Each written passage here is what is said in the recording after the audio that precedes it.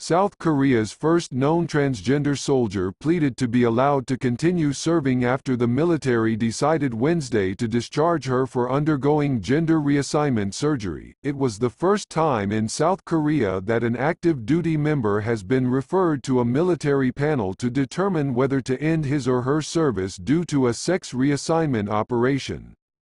South Korea prohibits transgender people from joining the military but has no specific laws on what to do with those who have sex reassignment operations during their time in service. The Army said in a statement that it concluded the soldier's operation can be considered a reason for discharge.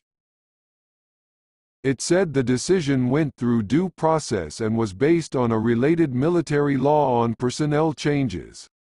Army officials cited a provision of the law allowing the military to discharge personnel with physical or mental disabilities if those problems weren't a result of combat or in the line of duty. After the ruling, the staff sergeant, who identified herself as a tank driver named Byun Hui-su, held a news conference at which she asked military leaders to reconsider their decision and let her serve as a female soldier. She said becoming a soldier was her childhood dream and that she now wants to serve at the tense border with rival North Korea.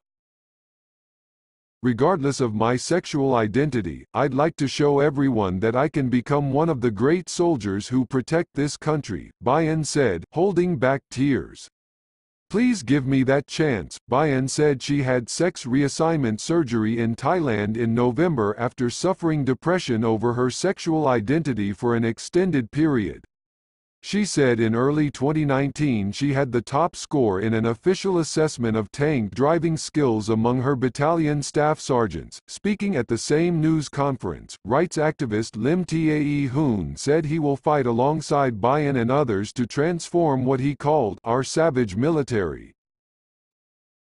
Lim, the leader of the Seoul-based Center for Military Human Rights, took issue with the Army's legal justification for discharging Byun.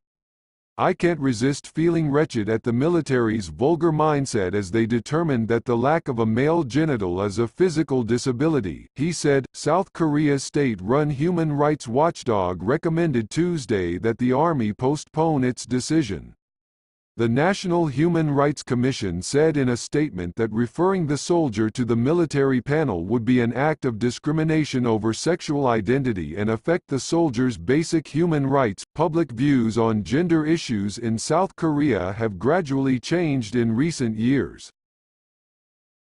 Several gay-themed movies and TV dramas have become hits and some transgender entertainers have risen to stardom.